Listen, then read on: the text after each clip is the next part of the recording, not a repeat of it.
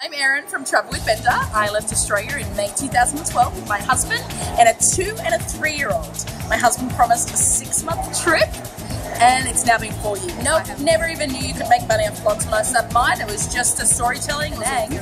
I was at a Chinese street festival watching this street festival and someone yelled out, Bender! And I turned around and this Asian lady ran up to me and she said, Oh my god, I can't believe you're here, I read your blog. And I was like, read my blog. we, my husband quit his job in 2014 and we both um, earn enough money from our blog to travel a lot. It took me at least two years before I was earning money, and I would say at least three years before I was earning enough to actually comfortably live on that. Travel bloggers will find BlogHer a little bit harder than a specific travel blogging conference. I still think you'll make great contacts. This year they had Gawa, Wing, and Embassy Suites here. Plus, your actual blogging friends that you make is probably the key most important thing.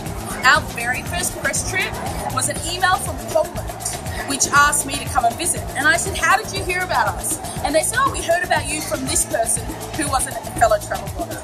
So, key friends and friendships are the key thing at any conference. And that reason, I would come to BlogHer alone. Travelwithbender.com. And for the Americans, it's Bender, not Bender.